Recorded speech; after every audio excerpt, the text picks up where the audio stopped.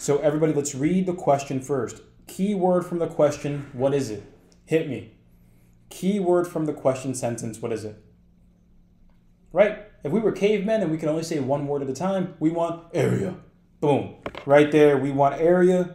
And everybody, once once we find once we see a math word, a pure math word, a pure geometry word like area, what's the first thing I'm going to ask myself once I see the word area? Right. What's the shape? Because the shape is going to lead us into the formula. So you could you could say I'm, I'm going to take both of those as correct, the shape or the formula. Both of those are correct. Um, I would typically ask what shape are we dealing with because once we know the shape, then we can say the area of that shape is formula. So boom, right there, we see area and everybody, there's a formula to it. What kind of a shape are we dealing with again?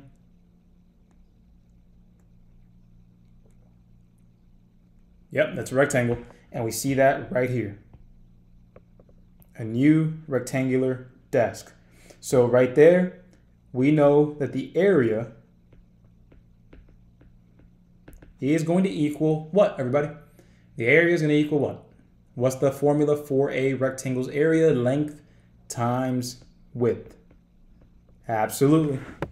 Remember, my math party people, acing the ASVAB is not just about watching me do it. It's better that you practice as well. It's about watching, practicing, and mastering the material. And the best way to do that is to start off with my free practice test because it comes with video solutions so you can try it out yourself, see all the mistakes that you've made, and then keep raising your score with those video solutions, organizing yourself so you can lower that test anxiety and raise your score. No excuses, it's completely free. So go ahead and click the link there or in the description. That way you can get started, raise your score, and do everything you need to do. Let's ace the ASVAB, but let's get back to the problem after you're done signing up. So everybody, is it true that at this point, you know, if the problem gave us the length and gave us the width, this would be a pretty easy problem? Is that true? Yeah, absolutely. If we knew what the length was and we knew and we knew what the width was, yeah, absolutely. Absolutely. So with that said, yeah, we're good. Let's go ahead and see what the problem gives us. I'm only going to be looking for information related to the length and the width. That's all I care about all I care about. Let's read. So it says, hey, she mentioned that the perimeter of the desk is 120. Perimeter? I don't care about that. Screw that. Don't worry about that. And that one of the sides measures 20 inches. Oh, right there. Great. Great, right here. One of the sides measures 20 inches. That can be the length, that can be the width. I don't care. But I'm to write that down right here that my length, I'm to say that my length is 20 inches. And the one thing that I'm confused on is, well, I just read the whole question, the whole problem. I don't see the width. I don't see the width. I don't see it. So everybody, the goal here at this point in time, we're looking for the area. We have the length, but we don't have the width. Is it reasonable to say that we're going to have to do some detective work to figure out what the width is going to be?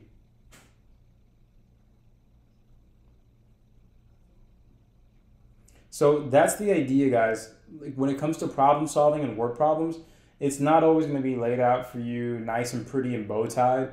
A lot of the times you're going to have to pause and say, wait, I still don't have this key piece of information. Let me take a detour and figure that out.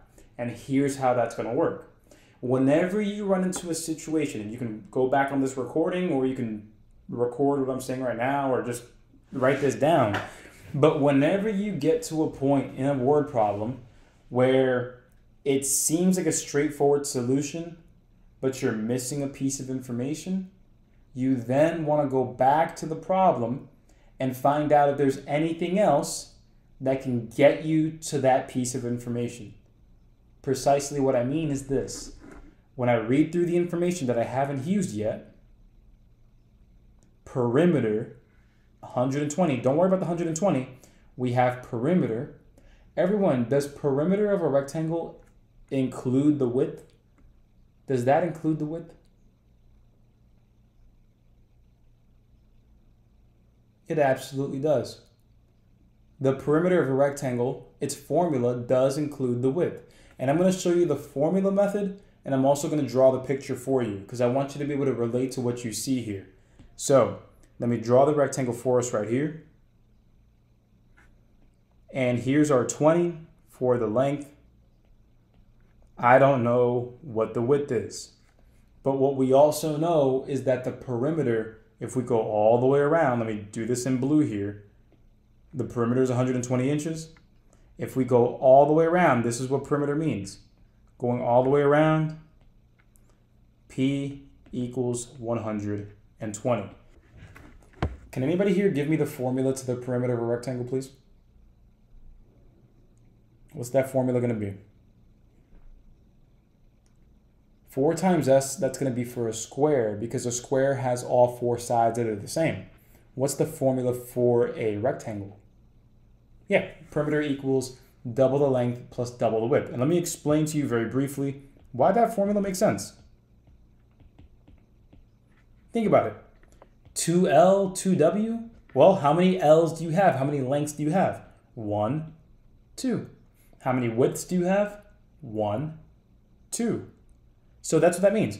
You're basically just adding up all the sides. That's what perimeter is. You add up all the sides. 2L plus 2W just means length, width, length, width. You have two of those lengths, two of those widths. That makes your formula. So hopefully that makes a little sense. But if you know, if you see this, well, hey, if your perimeter is 120, well, if you take away that 20 here and that 20 there, you're left with 80. And that means that 80 covers two of these widths. If the remaining two widths that you have is 80, what's one of those widths going to be? Right. So one of the widths, that means that two of those widths equals 80. So one width equals 40. Now, if this didn't make too much sense to you and you want to see it more of a, in terms of an equation way, watch this really, really quick Mazbab party people. While we continue this video, if you're enjoying it, which at this point, if you're watching, I know you are, please remember to like this video, comment your favorite part, and subscribe to the channel. That way you can help us spread the word about helping people raise their ASVAB scores just like we are. Let's keep getting the job done. Let's get back to the video. Appreciate you. I'm gonna put in the perimeter as 120, right over here. And I know that my length was 20. So we have 2 times 20 plus 2w. Well, 2 times 20 is going to be 40. Take away the 40. We're going to have, let me show you, let me actually show you on both sides here. Minus 40 on both sides. We have ourselves 80 equals 2w. And the last thing that we'll do is divide both sides by that 2. And that's going to give you w equals 40. So you can see it both ways there, but hopefully that makes a little more sense in terms of how we had to take a detour using that perimeter to find the width.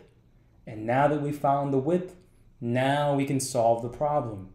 Everybody, what's the last thing that we have to do now? What's, what's the only thing left to do with that 40?